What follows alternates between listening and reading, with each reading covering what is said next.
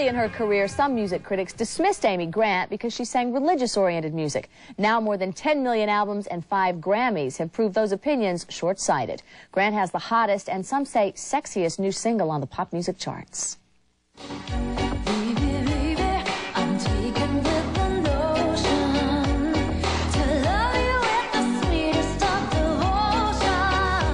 Baby Baby marks the start of a new sound and new image for gospel singer Amy Grant. She's making music that's pure pop and it's climbing the charts dramatically. And she's got a new look that can only be called sexy. I'm a happily married woman and married to a real sexy guy. And I mean, that's just as much a part of my life as going to church on Sunday morning. And I think, especially just after all the hideous PR that that uh, Christians in the press, you know, in the public eye have done, my lands, get a real person out there, you know? And if that is showing me as a real person, it is who I am. Go for it.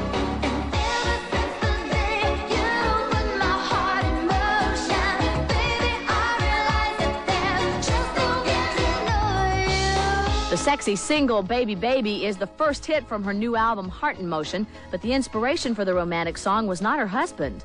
I just wasn't feeling inspired, and I pulled in the garage and walked in the back door. And at the time, my daughter, she's a year old now, but she was six weeks old at the time.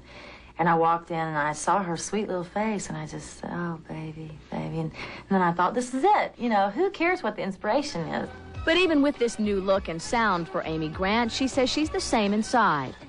It has felt like Hoosiers, you know, the girl from the small music genre getting out there and you know, measuring the basketball court is still the same. I'm picking up the same guitar. I'm singing with the same voice. I've got the same heart and the same values in life, and I'm just in a different arena, possibly now. It's a lot of fun.